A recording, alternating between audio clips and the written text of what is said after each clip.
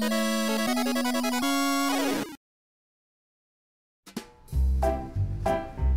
も、羽の子です。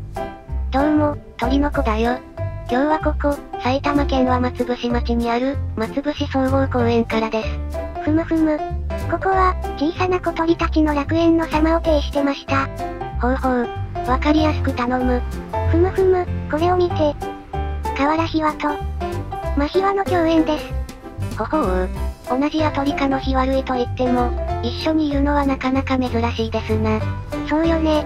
河原ひわは、近所に住んでるご近所さんでも、近所では、真ひわが、真ひわがいないのよね。まあ、北海道に住んでる鳥だから、冬場に寒い北海道を離れて、暖を求めてなんかしても、名古屋までは来ないんだろうね。残念。無念。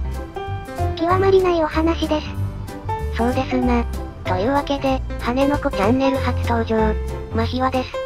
まひは、かっこ男子かっこ閉じ、を撮ってる時、いいタイミングで女の子も、ご飯を頬張ってました。それがこちら。ほうほう。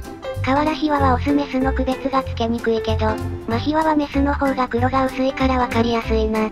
もうちょっと大きく編集できないのかな？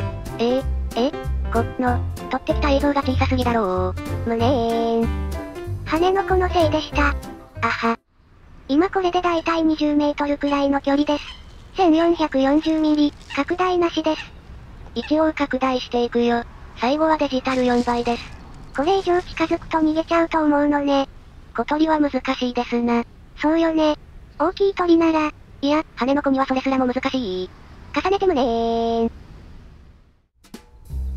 はい、やっぱり当倍が落ち着くみたいです。そうですな。フル HD は200万画素くらいしかないから、大きい画面で見るときは拡大は厳しいかもね。そうよね、ほどほどがいいね。ちょっと飛び立ちをスローで見てみます。マヒワの女の子を 30fps で、秒間30コマですな。うーん、早すぎですな。これは困った。60fps ならもっと綺麗に見えたかもそうですな。マヒワ初登場記念に色々撮りたいところですな。買ってくれ。何をだ？4K60fps のカメラを。ダメ。4K 編集できるパソコンもないだろう。無念。走行していると、見慣れない鳥が横切ります。怪奇現象かな？その正体はいかに？ででーん。って、冬羽のアトリですな。この埼玉地域では、アトリカはみんなで暮らしてるんだな。そうよね。アトリも名古屋では見つけられないね。こちらは、日本には冬にしかいないからね。チャンスも少ないってことね。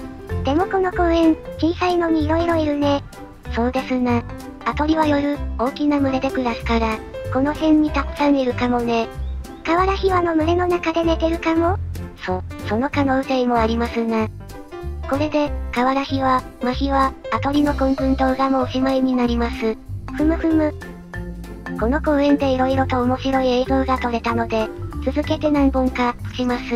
出るか、羽の子の、ナイスショット。こうご期待。えええ？やめてあげてー。じゃあ、過度な期待は禁物です。羽の子レベルでお願いします。それでは次回の動画でお会いしましょう。次回、魔法陣とお長がも、かも？おい。ご視聴ありがとうございました。まったねー。バイバイ。